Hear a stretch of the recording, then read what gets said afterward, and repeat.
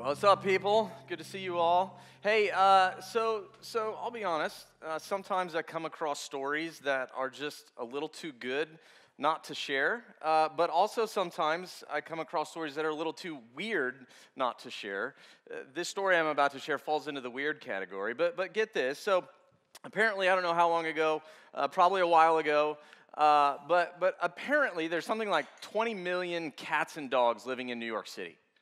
Now, now maybe that's not shocking because you know the city's big and and yeah, I guess that kind of makes sense. But but at least for me, one of the things I didn't think about when you have 20 million cats and dogs living in a city, uh, what happens when they die? Like, where do they go? You can't exactly bury them in your backyard like Justin Dirks does in good old Missouri, right? It's the concrete jungle. What, what happens? What happens when these pets die 20 million cats and dogs what happens when they die? Well of course the city realizes hey we've got a big problem here. And so they come up with a plan a plan that you would expect. They, they for a fee for a service or, or for a fee they'll do a service for you. They'll come and, and collect your pet your animal and they'll dispose of it. They'll give it the proper burial that, that it deserves right? The only catch was it's expensive it's not cheap for the city to have to come find you, your door, your home, your apartment, whatever it is, and, and take your animal and get rid of it. And so, so a woman living in the city says, You know, I think I can come up with something better. I think I got a better idea. I think I can do the same thing. I think I can provide the same service, but I think I can cut the cost in half. And so she puts an ad out. She, she puts an ad and says, Hey, look, uh, this is what I'll do. I'll, I'll take care of your pet. I'll give it the burial it deserves. I'll come and get it. I'll show empathy and care and all these things. And, and this is a really hard process for you. I get it. And I'll, I'll, I'll, I'll handle all the dirty work. And so uh, she puts this ad out. And as you would expect, people call. It's cheaper, it's half of what the city charges. Things die and things have to be disposed of. And so, so people call. When they do, I told you it gets, it's going to get a little weird, right? So, so when they start calling her, what she does is she goes to the local Goodwill the local Salvation Army. And she takes a few bucks, two or three dollars, that's all it costs. And she buys, you know, you've seen them, the nice old suitcases, right? Like your grandparents had and she goes to the home. Now, I don't think she walks into the house with this old dungy like, you know, suitcase because that would probably be a little off-putting, but but she's got the suitcase and she takes the pet, she takes the animal and she says, "Okay, here's here's I'm going to get rid of it, I'm going to bury it, uh, take care of it." I don't know what she said. Uh, but they give the money and she goes off on her way and and she puts the animal in the suitcase. Now that's weird, right? We can admit that's kind of weird. It gets weirder because after she puts the animal in the suitcase, wherever that is, she goes on a ride. Where? The subway. Why? Well, because apparently there are thieves on the subway. It's weird, right? So she takes a ride with this dead animal in a suitcase that she got at a Goodwill store. She takes a ride on the subway where thieves are, and she gets on that subway she puts that suitcase down. And she goes on a little walk about the, the car, the subway car. And she pretends like she forgot about her suitcase. And she says, more often than not, a thief would come and grab that suitcase. And you can just imagine stop, thief, come back right? As this thief is getting away with this dead pet in a suitcase that she got at Goodwill. Now, here's a question What kind of person comes up with this idea? Like, like who comes up with the idea that I'm going to undercut the city by buying a used suitcase, stuffing an animal in it, taking it on a subway, hoping that a thief will come along and steal it? That's weird. Now, now also, at the same time, imagine, imagine the look on those thieves' face, right? Imagine they, they, they go through all this work and, and they, they do the thing. They steal the suitcase, right? They think they've got this stuff and they get wherever thieves go and they, you know, take their bounty or whatever it is and, and they, they're getting ready to open it and see what they got and they, dead cat. it's messed up. Now, now I told you I like a good story and I like a good good weird story, but, but I'm not sharing it just because I think that's weird and that was the most interesting part of my day. I'm sharing it uh, because, as weird as it sounds, I get that it's weird, it's bizarre. As weird as it sounds, I started thinking about this story, probably a little too much, but I started thinking, you know, I'm a lot like those thieves. I think I'm a lot, I, I, I have something in common with those thieves, and to be honest, I think you do too. And I think that thing that we have in common is that we too spend a lot of time chasing things. We spend a lot of time going after things that we think we want, things that we think we need, things that we think will make us happy. And sometimes we actually get that thing, right? And, and, and whatever that thing is, we, we grab it, we snatch it, we, we get a hold of it, and, and we get wherever we're going, and we open up that suitcase, except it's not what we thought it was. It's not what we wanted at all. This whole thing, this, this whole process of getting this thing that I want, it's not exactly what I expected it to be. It didn't go the way that I thought it would. It's not how I wanted it to turn out. You ever been there? You ever had that experience? You're, you're chasing something, something that you think will make you happy, but, but maybe you get it, and as it turns out, it didn't really make you happy at all. You thought that it would bring some sort of satisfaction. You thought that it would bring some sort of comfort and, and joy, and, and maybe it did temporarily, but it didn't last. It wasn't what you thought it was. Maybe you're sitting there and, and, and that's your experience right now. There's something in your life that, that you're chasing, that, that you're hoping to get, that you're running after, that you're wanting to, to grab maybe a relationship, maybe a grade, maybe a job, maybe a friend status, maybe a, I don't know, an influencer. I, I don't know. What, what is it for you? What are you chasing? What is that thing that you think will make you happy, that thing that you think you want? See, we're all doing it. Every single one of us here is doing it. You're not alone if that's you right now because we're all doing it. Blaise Pascal, was a. have uh, talked a little bit about him before he was like, I, don't, I don't know, 17th century mathematician, philosopher. Uh, he, he says something that I think is really insightful. He says this He says, All men, I think you would add women, all human beings seek happiness. This is without exception. Whatever different means they employ, they all tend to this end. The cause of some going to war and of others avoiding it is the same desire in both, intended with different views. The will never takes the least step to this object. This, this pursuit of happiness, is the motive of every action of every man, even of those who hang themselves. You see what he's saying? See, if he's right, and I think he is, what he's saying is that everything you and I do is motivated by happiness. Everything that you and I do is motivated by what we think will make us happy all of our actions, all of our choices.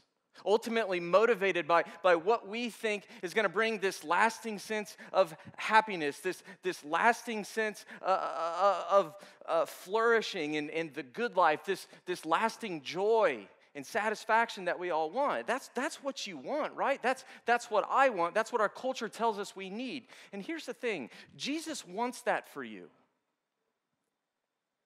You see, I know we talk a lot about happiness. I talk a lot, I think I've talked about happiness every time this semester. Maybe you're getting tired. We do it because Jesus does it. And you know what? Jesus wants you to be happy.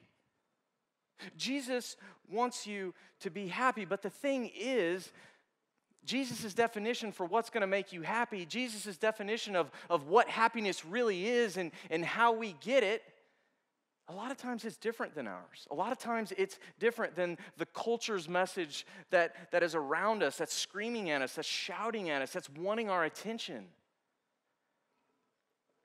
If you weren't here last week and, and didn't get a chance to watch the service on YouTube or, or listen to the talk on, on our podcast, Veritas Mizzou, uh, we started a new Tuesday night series. We're going through a section of Matthew's gospel uh, known as the Beatitudes. The, the word beatitude, if you were here, you remember, it, it, it, just means blessing. It's from this Latin word that means blessing. And, and for those of you who were here, you, you probably remember that, that when we get to the Beatitudes, this section of Matthew's gospel, Jesus is, is early in his public ministry, right?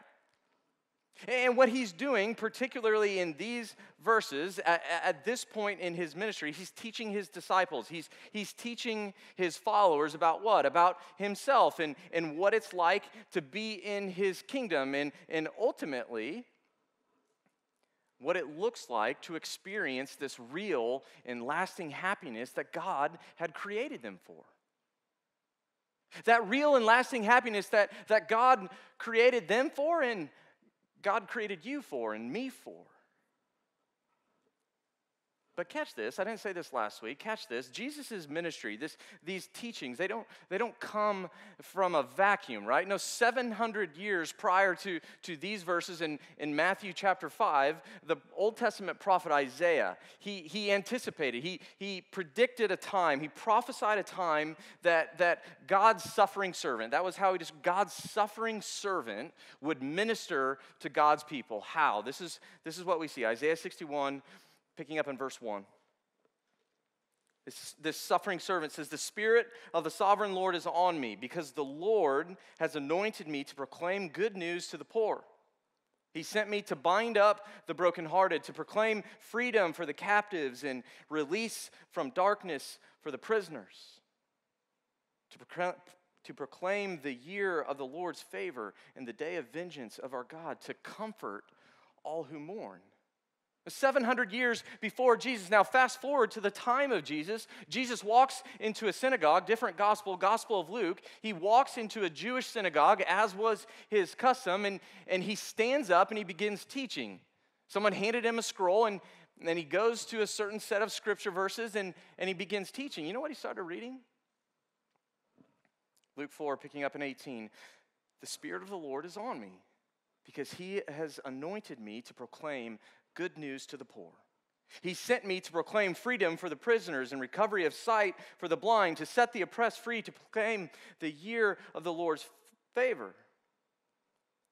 Then he rolled up the scroll, gave it back to the attendant, and sat down.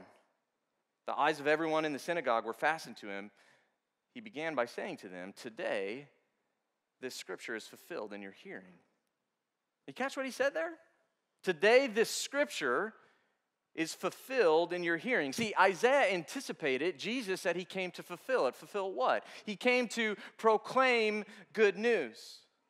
He came to bind up the brokenhearted, proclaim freedom for captives, release prisoners from darkness, comfort, he says, all who mourn. Now, I'm saying all this because I want us to see that Isaiah's prophecy, 700 years before the time of Jesus, anticipated this very moment. That prophecy, it forms the backdrop for what we read in Matthew 5 when we get to the Beatitudes. And in particular, it forms the backdrop of the Beatitude we read tonight. Matthew 5, verse 4, we saw it earlier. Blessed, blessed are those who mourn, for they will be comforted. Blessed are those who mourn, for they will be comforted. Now, it's kind of an odd statement, isn't it? I mean, think about that for a second. Blessed are those who mourn. Happy, we might say, are those who are not happy. Flourishing are those who are sad. Blessed are the, those who mourn. It's a, it's a paradox. It's upside down. It, it doesn't quite make sense. It, it seems contradictory. Blessed are those who mourn. Mourn what? Anything? Everything? Specific things? What's Jesus talking? When he says blessed are those who mourn, what's he talking about? Now, I want us to remember, I'm going to keep repeating this. Remember, these Beatitudes, these blessings, remember what they are. They, they aren't what? They're not pithy virtue statements that you and I are striving to attain. That's not what they are. No, they're, they're kingdom statements. These Beatitudes, they're, they're kingdom statements meant to do what? They're, they're meant to shape who you and I are in light of who the king is. These Beatitudes, these blessings, they're meant to, to shape Jesus' followers in light of who he is. They're meant to shape you and me in light of him. And so, these verses, this, Jesus says, this is what it's like to live inside my kingdom, his kingdom, where you and I, where his followers, his people will be most happy, most blessed, flourish as God intended them to flourish. Flourish as God wants you to flourish. And so that's why Jesus, you know, last week, that's why Jesus starts the Beatitudes with, with blessed are those who are poor in spirit. What does poor in spirit mean? Remember, it, it means blessed are those who, who see their sin, who, who see their, their spiritual bankruptcy before God, and, and more importantly, they see their need for Jesus. And when they do, for theirs, Jesus says, for theirs is the kingdom of heaven. But, but he takes it a step further tonight. He takes it a step, see, these Beatitudes, they're connected. They're not individual statements meant to be spliced up and, you know, cherry pick here and cherry pick there. No, they're, they're, they're connected. And so Jesus, he takes that first beatitude and he takes it a step further tonight when he says, Blessed are those who mourn. Mourn what? Sin. Blessed are those who mourn sin. See, what Jesus is saying when he, when he follows, blessed are the poor in spirit, with blessed are those who mourn, is that it's not enough simply to see our sin. It's not enough for you and I to just recognize it, to admit it, to say, yeah, you know what, I'm a sinner, you're a sinner, we're all sinners. Of course, that's true. And of course, we need to admit that, but, but that's not what Jesus is saying. Jesus is saying here, he's saying, blessed, happy, flourishing are those who are saddened by their sin. Happy are you when you lament your sin, when you mourn over it. See, Jesus saying, Happy are you when sin grieves you, when sin brings sorrow. Why? Why, why mourn? Why lament? Why grieve sin? Well, because sin's not the way that God intended things to be, right? It's not the way it's supposed to be. It's not what God intends. It's not what God wants. And so Jesus says to his earliest followers, he's saying to you and me, he's saying to us, he says, Blessed will you be when you mourn, grieve, lament over your sin. But, big but, right? Not all mourning is created equal. In other words, there are right and wrong ways that you and I can mourn over our sin. What, is it, what do I mean? Let, me show you. New Testament, Second Corinthians chapter 7. Let me, let me set it up for a second before we get to the verses. Uh, uh, Paul has just rebuked the Corinthian church, these Christians in the Corinthian church. He's just rebuked them for, for this certain set of sins that, that they'd been struggling with. And, and what he says is, is, is that at first, he says, I kind of regret it. He said, I, I, had to say some really hard things to you. I, I had to say some strong words. You're, you're, you're, you're doing some serious sins. I kind of regretted it. It hurt the relationship. It, I, man, I didn't really want to do that. So, so just as a sidebar, people, we don't like rebuking each other for sin. It's not an easy thing to do. We, we get that when we say hard things to each other, that, that sometimes it rocks the boat. Sometimes it hurts the relationship. And, and we don't like that. If you think that I enjoy making people feel bad about that's not that's not it. And that's what Paul says too. He says, I, I kind of regretted it at first. I know that it hurt our relationship. I, I love you. I care about you. I grieve that. But then he says this. This is, this is where we get to verse, verse 9. He said, Yet now I'm happy. At once I, or at first I regretted it, yet now I'm happy. Why? Not because you were made to feel sorry, but because your sorrow led you to repentance. For you became sorrowful as God intended, and so were not harmed in any way by us. Godly sorrow brings repentance that leads to salvation and leaves no regret. But worldly sorrow, worldly sorrow, it brings death. See, what Paul knows is that every human being feels sorrow. All of us at some point in our life experience grief, but, but at the same time, Paul says that not all sorrow, not all mourning, not all grief, especially when it comes to sin, not all grief and mourning and lamenting is the same. There's, there's worldly sorrow, and then there's godly sorrow. What's the difference? What's the difference between worldly sorrow and godly sorrow? Well, according to Paul, one leads to life, the other leads to death. According to Paul, one leads to repentance, and the other, the other it leads to regret. One leads to heart change, one hardens our hearts. It, it, it hardens us. See, Paul knows that, that we all feel sorry. We all feel guilty at times, but, but he knows that it's possible to feel sorry for the wrong reasons it's possible that you and I feel sorry, you and I grieve, you and I mourn, you and I lament sin for the wrong reasons. What does that look like? That's just a few examples. We, we feel bad. We feel bad when that person that we are gossiping about finds out what we said. We feel bad. We, we, we thought we were having a private conversation. We are talking about them. We, we didn't expect for them to find out, and, and they did. And gosh, now we just feel kind of crappy. Maybe we, we regret going out, getting drunk, and, and blowing the exam the next day, or blowing off the group project that we have, or, or whatever our school. Re- Sometimes we're sorry we're not sorry, right?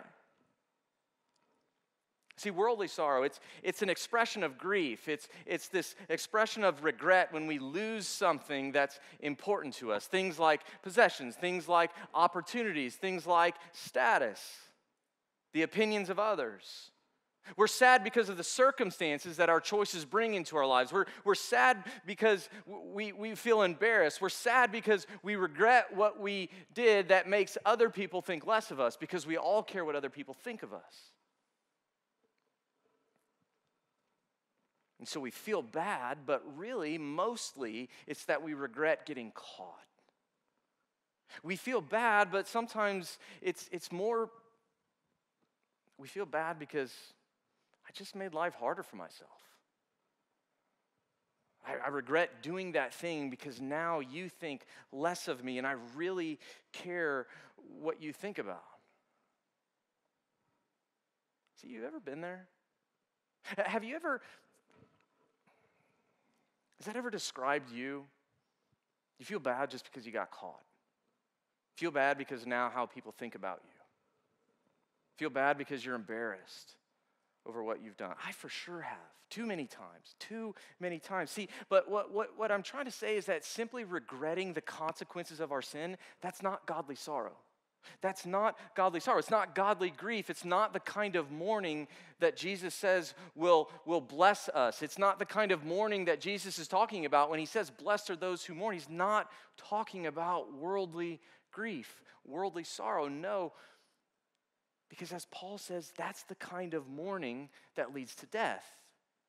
Now, of course, he's, he's talking spiritually speaking, right? Worldly sorrow, it leads to death, spiritually speaking. Why? Because it shifts the focus from God to us. It blinds us from the, the consequences that, that our sin brings. It, it blinds us from, from sin's offensiveness to God. It, it makes us care more about our present circumstances than we care about our relationship with God. And so, worldly sorrow, it's, it's, it's kind of like um, it's kind of like treating the symptoms instead of the disease, right? Focusing on the, the outside instead of the inside, the, the external instead of the internal. When we do that, when we, when we focus on the symptoms and not the disease, when we focus on the outside, not the root, what happens? We don't really change, do we? When we just focus on the external circumstances of our lives, well, we don't actually change. We don't actually grow. We don't really feel sorrow about sin the way that God wants us to feel sorrow. That's worldly grief, that's worldly sorrow. And Paul says that it leads to death. But godly grief, godly mourning, godly sorrow is completely different. Instead of self pity and, and anger and, and pride, instead of running and hiding and, and wallowing, sometimes we wallow in our sin, right? Instead of blame shifting and, and finger pointing, or sometimes just flat out denying sin, no, eh, when we have godly sorrow, it means that we admit our sin.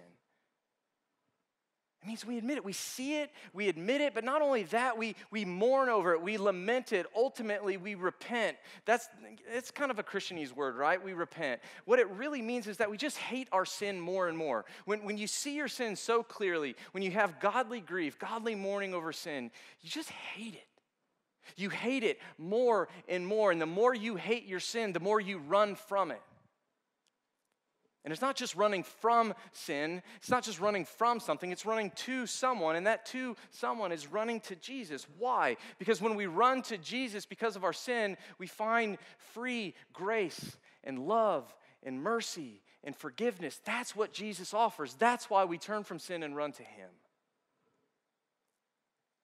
And I think it's why David, you know the story of David and Bathsheba in the Old Testament.